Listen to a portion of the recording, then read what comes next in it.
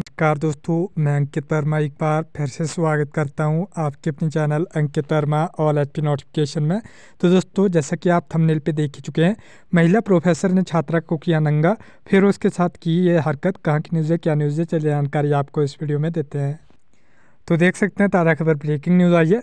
Private university की महिला professor पर यौन शोषण का आरोप, मामला दर्ज नालागढ़ से न्यूज़ है, बरोटीवाला के अटल कुंज कालू झंडा स्थित एक प्राइवेट यूनिवर्सिटी में महिला प्रोफेसर के खिलाफ प्रथम वर्ष की छात्रा से छेड़छाड़ का मामला दर्ज हुआ है। आरोप यह है कि महिला प्रोफेसर ने छात्रा का न्यूट कर वीडियो बनाया और वो उसके गुप्त अंगों पर बार बार हाथ लगाते हुए गंदी हरकतें करती थी।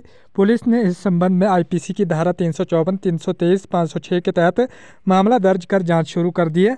डीएसपी बद्दी प्रियंका, प्रियंक गुप्ता ने मामले की पुष्टि करते हुए बताया कि पुलिस ने महिला पुलिस थाना बद्दी में पीड़ित छात्रा के बयान पर महिला प्रोफेसर के खिलाफ शारीरिक उत्पादन का, उत्पीड़न का मामला दर्ज किया है।